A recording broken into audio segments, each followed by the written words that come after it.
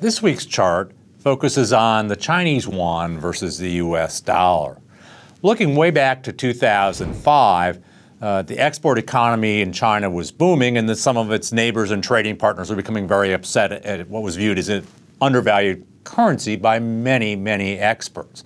Since then, over a broad period of time, the Chinese currency has appreciated about 34 percent, a relatively dramatic uh, change. In fact, one that prompted the IMF to say, well, you know what, this is no longer officially an undervalued currency. And of course, uh, just as that happened, uh, the Chinese did decide to devalue their currency slightly a couple of weeks ago. But that change is just a drop in the bucket compared to the 34% of appreciation that we've had since 2005.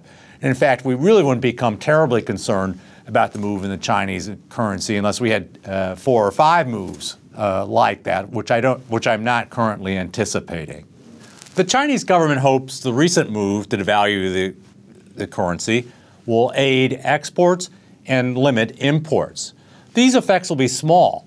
More importantly, they're hoping to convince monetary authorities that they're letting the market play a much greater role in setting currency rates, paving the way for their inclusion as a reserve currency, a club currently dominated by the US dollar, the euro, and the Japanese yen.